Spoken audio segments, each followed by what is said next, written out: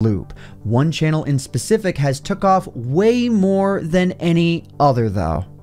Some YouTubers have absolutely blown up in the last couple of weeks, namely, and one you've maybe seen more than once at this point, goes by the name of Dream. One of the videos that immediately curated a load of his recent success was Minecraft, but X-Ray is always on. In this sort of short burst series, he played the game as the title suggests. The content this an entire Minecraft world where you can only see certain things, only ores, lava, and very specific blocks. In the short series, they made it to the nether, got to a nether fortress, made it to the end, etc. Did they beat the game? Well, surprisingly, yeah. Was it the weirdest thing to look at all throughout? 100%. Was it super cool? Yes.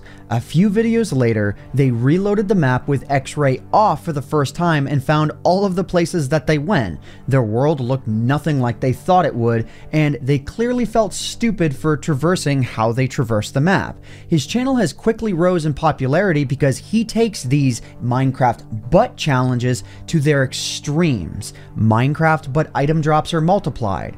Minecraft, but the speed rises every second. Minecraft, but every mob explodes like creepers.